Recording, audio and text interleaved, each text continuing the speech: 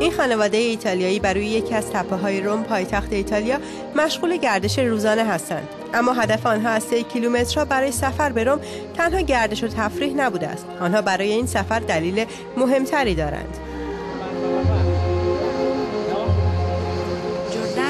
مادر خانواده می‌گوید جردانا فرزند ما از بیماری به نام دریچه آورت دولتی رنج می‌برد و این ناهنجاری باعث می شود که آورت بالا رونده او متورم و بزرگ شود.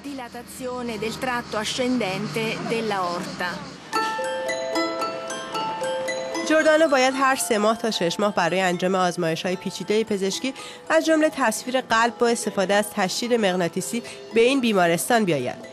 پزشکان باید تحول وضعیت او را بررسی کنند تا بتوانند تصمیم بگیرند که آیا زمان برای عمل جراحی مناسب است یا خیر. اما تصمیم گیری با روش های فعلی مشکل است. معیار معمول برای انجام جراحی آهنگ افزایش تدریجی اندازه آورت است. این معیار به ما می‌گوید که چه زمان وضعیت بیمار خطرناک شده. مشکل این است که این معیار دقیق نیست و همیشه نمی‌توان به آن اعتماد کرد. می‌دانیم که بین 20 تا 30 درصد بیماران پیش از آن که بر اساس این معیار تحت جراحی نهایی قرار بگیرند برایشان مشکلاتی پیش میآید. برای حل این مشکل پژوهشگران اروپایی مدل های پیچیده کامپیوتری ساختند که در آن ویژگی های سیستم قلب و عروق هر بیمار لحاظ شده است. این ویژگی ها شامل تاثیر برخی بیماری ها بر آورت بالا رونده است. با این شبیه سازی جریان خون می توانیم به اطلاعات موضعی درباره سرعت جریان خون در آورت بالا رونده برسیم. همینطور جهت جریان خون و فشار موضعی خون و تلاطم های موضعی در جریان خون را پیدا می کنیم برای متخصصان قلب و عروق کودکان این داده های شخصی و مطابقت داده شده با ویژگی های هر بیمار اطلاعات مفیدی برای درمان جردانو و هزاران بیمار نوجوان دیگر در بر دارد.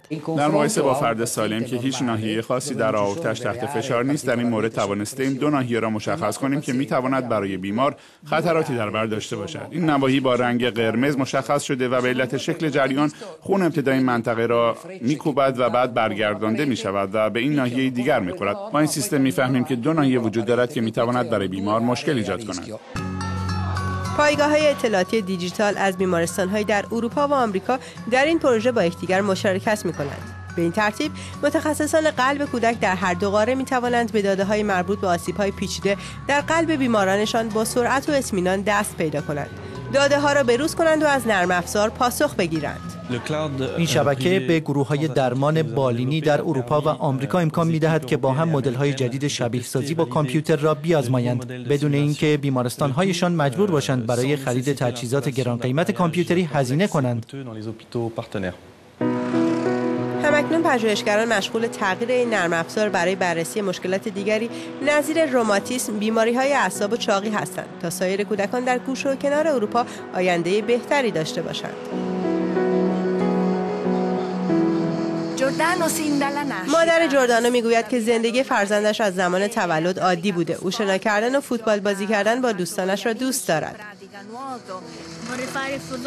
وقتی بزرگ شدم می‌خواهم عکاس شوم و دوست دارم از حیوانات و مناظر عکس بگیرم.